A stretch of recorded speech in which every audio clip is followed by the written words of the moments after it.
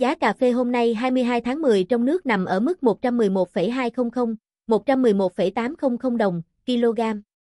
Giá cà phê hôm nay tăng nhẹ 100 đồng 1 kg so với hôm qua. Giá cà phê trong nước hôm nay. Cụ thể, tại huyện Di Linh, Lâm Hà, Bảo Lộc, Lâm Đồng, giá cà phê hôm nay được thu mua với mức 111,200 đồng kg. Tại huyện Cư Mờ Ga, Đắk Lắk, giá cà phê hôm nay ở mức 111,600 đồng kg.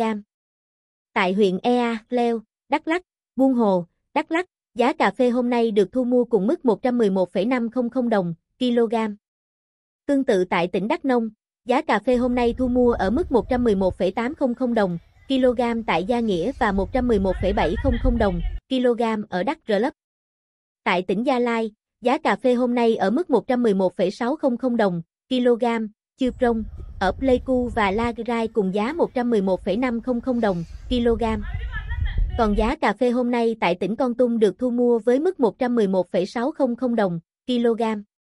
Việt Nam, nước sản xuất cà phê Robusta lớn nhất thế giới, đang đối mặt với vụ mùa giảm hơn 10% trong khi các nước khác có vụ mùa khả quan.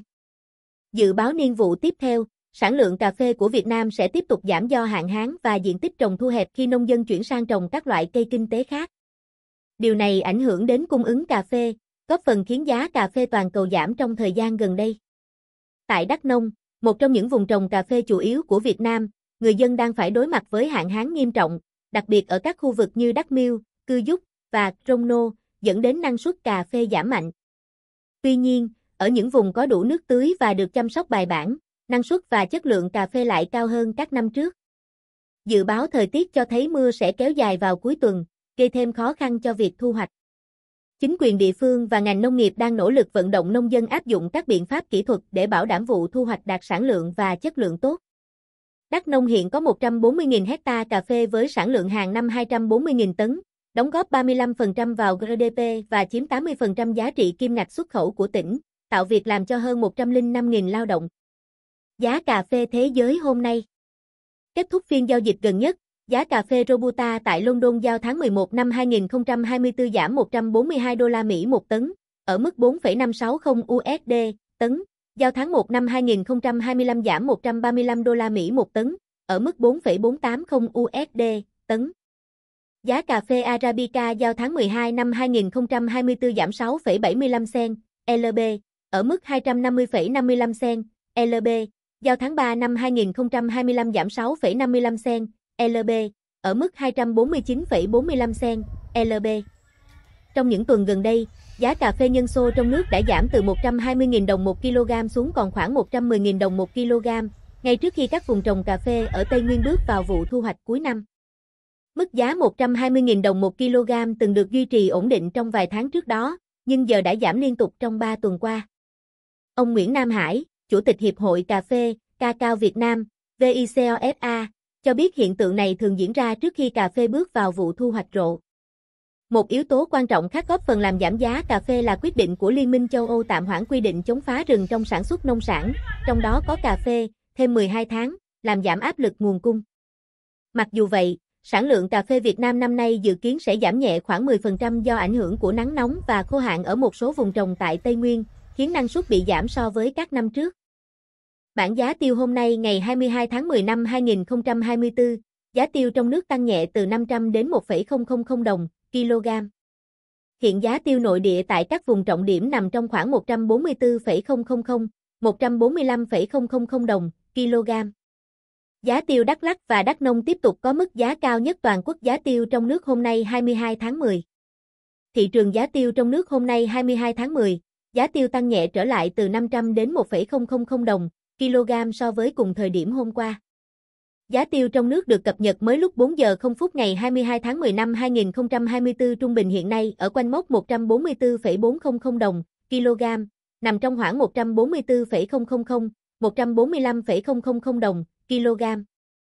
Giá mua cao nhất tại tỉnh Đắk Nông và Đắk Lắk là 145,000 đồng kg theo đó.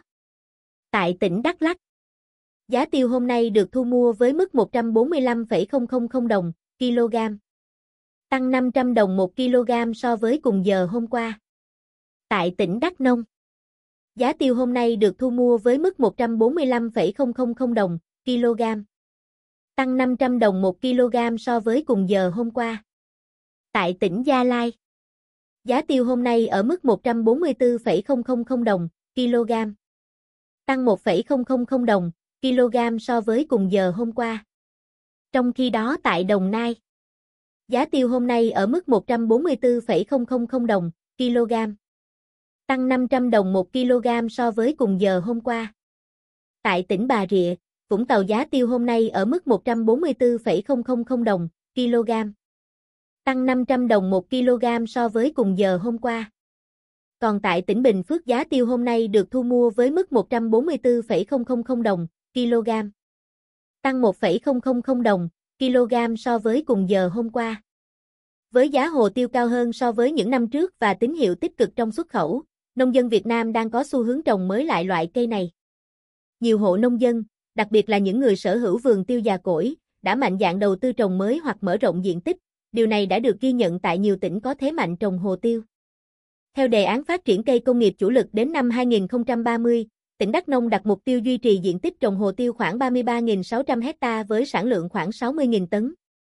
Địa phương này sẽ chuyển đổi từ trồng tiêu đạt năng suất cao sang sản xuất tiêu chất lượng cao và bền vững, dự kiến sẽ chuyển đổi khoảng 950 hecta diện tích hồ tiêu già cỗi sang các loại cây trồng có giá trị kinh tế cao hơn.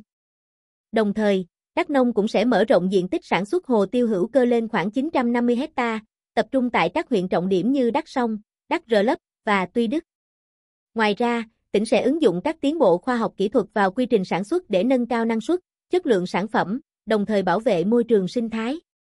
Giá tiêu thế giới hôm nay 22 tháng 10 Cập nhật giá tiêu thế giới từ Hiệp hội Hồ tiêu Quốc tế, IPC, kết thúc phiên giao dịch gần nhất, IPC niêm yết giá tiêu đen Lampung của Indonesia đạt 6.794 đô la Mỹ một tấn, tăng 0,31%, giá tiêu trắng mung tốc đạt 9.302 đô la Mỹ một tấn, tăng 0,32%. Giá tiêu đen ASTA 570 của Brazil ở mức 6.400 đô la Mỹ một tấn. Giá tiêu đen ASTA của Malaysia duy trì ổn định ở mức 8.700 đô la Mỹ một tấn, Giá tiêu trắng ASTA của nước này đạt 11.200 đô la Mỹ một tấn. Giá tiêu đen Việt Nam hôm nay ổn định, giao dịch ở 6.500 đô la Mỹ một tấn với loại 500 G1L, loại 550 G1L mức 6.800 đô la Mỹ một tấn. Giá tiêu trắng ở mức 9.500 đô la Mỹ một tấn theo báo cáo sơ bộ của Hiệp hội Hồ tiêu và Cây gia vị Việt Nam, VPSA. Trong 15 ngày đầu tháng 10, Việt Nam đã xuất khẩu 9.039 tấn hồ tiêu, thu về 58,3 triệu đô la Mỹ, Tính từ đầu năm đến giữa tháng 10, tổng lượng xuất khẩu đạt 209.933 tấn, kim ngạch đạt 105 tỷ USD, mặc dù giảm 6,9% về lượng nhưng lại tăng 38,8% về giá trị so với cùng kỳ năm ngoái. Mỹ vẫn là thị trường lớn nhất cho hồ tiêu Việt Nam, chiếm 31,7% thị phần với 2.865 tấn. Olam là doanh nghiệp xuất khẩu hàng đầu trong giai đoạn này với 1.424 tấn, chiếm 15,8% tổng xuất khẩu. Ngoài ra, trong cùng thời gian, Việt Nam đã nhập khẩu 2.295 tấn tiêu, chủ yếu từ Indonesia với 1.824 tấn, tương đương 79,5% tổng khối lượng nhập khẩu. Trong 15 ngày đầu tháng 10, kim ngạch nhập khẩu tiêu của Việt Nam đạt 13,7 triệu đô la Mỹ. Các doanh nghiệp nhập khẩu lớn trong kỳ này bao gồm Trân Châu, 407 tấn, Harris Spicer, 360 tấn, Phúc Sinh, 350 tấn, Olam Việt Nam, 342 tấn, và Phúc Thịnh, 327 tấn. Với sự phục hồi về giá cả, xuất khẩu hồ tiêu của Việt Nam đã vượt mốc 1 tỷ đô la Mỹ chỉ sau 9,5 tháng và có khả năng gia tăng hơn nữa trong 2 tháng cuối năm.